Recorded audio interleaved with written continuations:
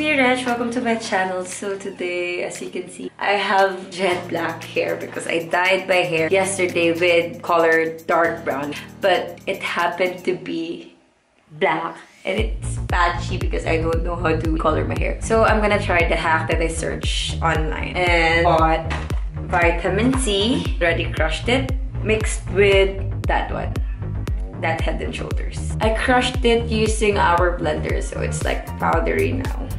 I used like 70. I don't know if it's enough but let's see. We're gonna pour a mixture of this. Okay, so I think this will be enough for my hair. I'm just gonna mix it using my hands with the gloves. So I have fully coated my hair with this and it's so messy and it's very sticky. As you can see there are still crumbs of vitamin C. So we're gonna wait for 50 minutes and then I'm gonna wash it off. Hope it works. See it? Okay. One hour later. It's back. It's brown now. So my hair is kind of um, lighter now compared to yesterday. Now I'm with my sister. Happens to be so cute. And there's um hot compress in her butt. I take a video of my hot compress in my butt. Here. As you can see, it is now way much lighter than before. So I think I'm gonna try it again. It's dark brown now. And let's try another one session. I'll play it again.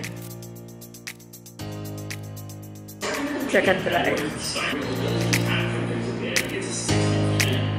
This is now what it looks like after the second wash. I'm okay with this hair. Not like the jet black hair. The clip on the right side was taken from my phone's camera. So this is what it looks like now on the third day and beside our window. Yes, it's been a week and my hair is definitely lighter now. It's curly because I started my CGM um, routine. It's curly girl method. See what it looks like outdoors.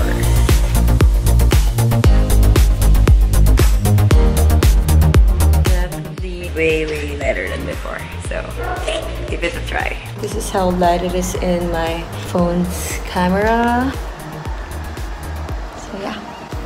Vitamin C with Head and Shoulders really works. If you like this video, give it a thumbs up, subscribe, and don't forget to click the bell button. Ciao!